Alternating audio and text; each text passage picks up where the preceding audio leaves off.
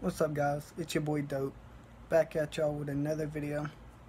Today, I'm going to be showing y'all how to customize y'all's Voopoo drag and your Voopoo drag 2. The most recent video I've seen on this is like a year ago and it didn't help me that much, so I had to figure it out on my own, and I did. So I'm going to show y'all how to do it now in a easier way than what I had to figure it out. Hope y'all enjoy. Alright, to start it off, what I did is I just went to my search, type in Voopoo, and then Voopoo Drag Software. And it will be your first link. After you get here, I tried the drag, the drag does work for the drag, but if you have the two, I'd advise getting this one because it works for the drag and the drag 2. Let's make sure it's on two. It's on two. And you would just go down to conf configuration software and click your download. It'll pop up in the bottom right corner. I've already done this, so I can just close this down. Once you plug in your vape, you can go to device information, make sure it's up to date, ROM update, and customize.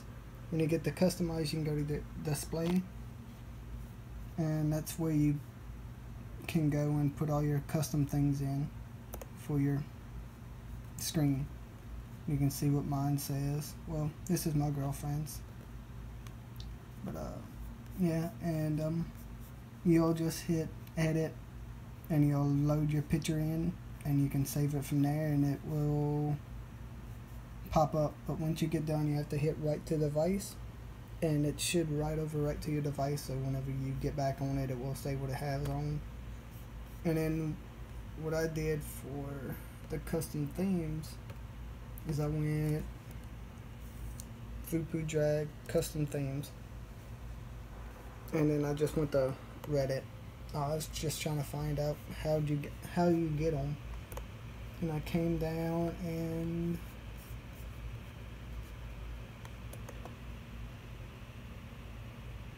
Nope, that ain't this. One. Alright. You'll come to this one. And then there's your folder. I'll link it down in the description for y'all so y'all can just click on each one of them. And they have all your folders full of your full of your um, templates. Once you get to one you like, you just right click on it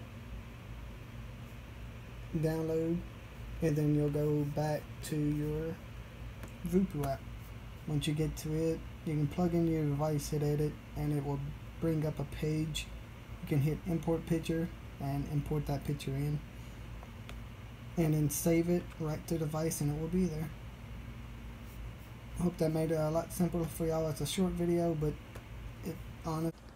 Alright guys, that was a short video, but I hope it helped. I know the videos I seen when I try to figure mine out, they all old, so it's old software and everything like that, and I couldn't find half of it, and I finally figured out the updated and how to do it myself, and just to prove that it works. There's the YouTube. And there's Boobies Make Me Smile, and then I got all the other ones on here too, but just to show it works. It actually works. And I hope this video helped y'all. Please like, comment, and subscribe for more stuff like this.